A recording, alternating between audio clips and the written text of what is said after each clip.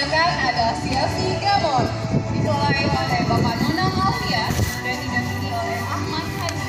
Yang ini berdiri tahun 2012. Siasi Nabawan berada di Jalan Nabawan Batu 50 dikelola oleh Bapak Ihsan Taufik Munadi. Nama pendamping saat ini Bapak Ihsan sendiri dan Adelia berdiri pada tahun 2011. Berikutnya ada Chelsea Kota Kinabalu bertempat di Kota Kinabalu dikelola oleh Bapak Aris Setianto dan pendampingnya datang Hmm. pada hari ini adalah Yuli Mulyana dan Zoe Hamid. Chelsea ini berdiri tahun 2010. Berikutnya ada Siasi Kiram berada di Lagang Kiram dikelola oleh Bapak Muharifin saat ini didampingi oleh Ibu Hayati dan Ibu Mutar saja. berdiri pada tahun 2013. Juga kan? Aku Chelsea tahu, nanti meledak sendiri. dan Bapak Ansar dikelola oleh Bapak Zainuddin Ahmad dan pendampingnya datang pada hari ini adalah Ihsan Gandamini dan Maria Priscila. Chelsea ini berdiri tahun 2013. Selanjutnya ada Siasi Merotai berada di ladang Samsardi Merotai kecil Tawau dikelola oleh Bapak Sapri didampingi saat ini oleh Bapak Samsul Alam dan Ibu Hasnawati. Siasi ini berdiri pada tahun 2010. Ada Siasi Terusan 2 dari Ladang Sari Terusan 2 SM. Pengelolanya adalah Bapak Muhammad Hendra dan saat ini didampingi oleh Bapak Muhammad Hendra sendiri dan Ibu Novia Hayati. Siasi ini berdiri tahun 2014. Di belakangnya ada Siasi Mostin berasal dari ladang Muslim Kuta dikelola oleh Ibu Andri Sri Ansyari didampingi oleh Ibu Sri dan Ibu Andi berdiri pada tahun 2011. Dan terakhir ada Sekolah Indonesia Kota Kinabalu yang merupakan sekolah induk dari 46 CLC jenjang SMP dan 115 CLC jenjang SD yang tersebar di wilayah Sabah dan Sarawak.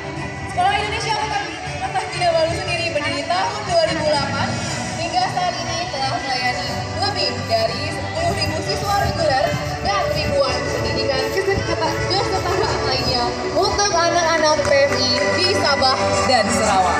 Dalam perjalanannya telah banyak prestasi yang, ditorehkan baik dalam kancah nasional dan internasional dalam bidang akademik dan non-akademik.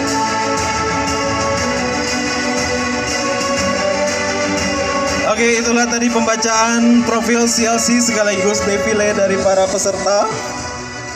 Selanjutnya kita akan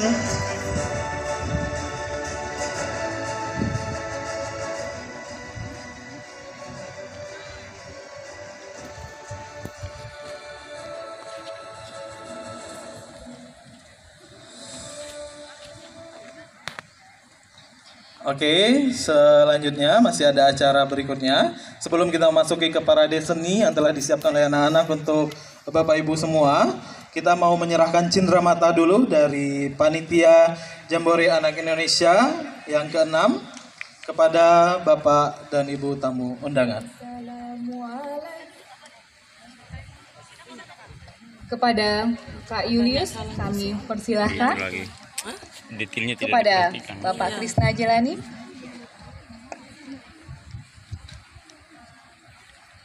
kepada Bapak Farid Maruf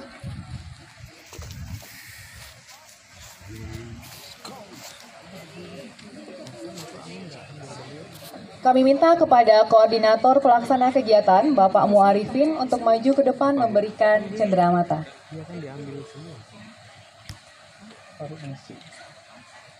Kenapa?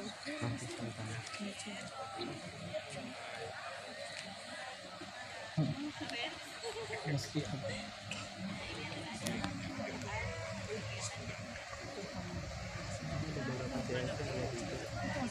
Iya masih banyak. Banyak sih. Ada berapa? Masih. Selanjutnya kami panggilkan Bapak Sulistio Jati Ismoyo dan Bapak Datu Awang untuk menerima persembahan dari panitia Jaim 6. Dan juga kami mintakan kepada perwakilan dari Sekolah Indonesia Kota Kinabalu, Kepala Sekolah SIKK Pak Dadang, kami persilakan untuk maju ke depan.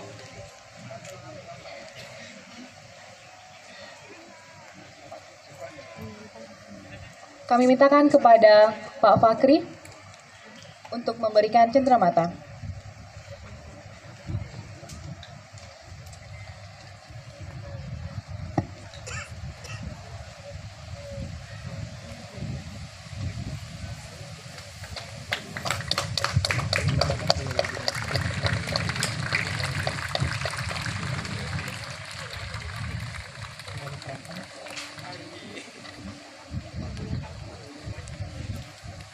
Selanjutnya kepada perwakilan pramuka dari Kalimantan Barat. Bapak Suryadi, kami persilahkan untuk maju ke depan menerima sedikit cedera hati dari kami ya.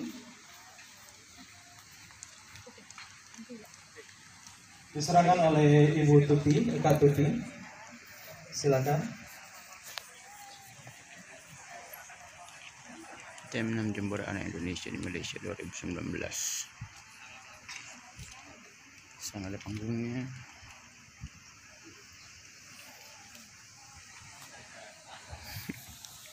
Terima kasih, kami ucapkan kepada para tamu undangan.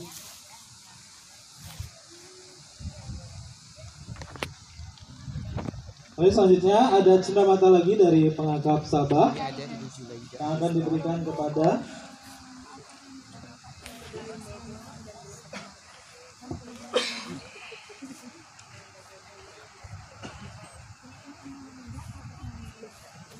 kami panggilkan ke depan Kak Julius, Kak Krisna, dan Kak Suryadi untuk menerima cenderamata dari pengangkap Sabah.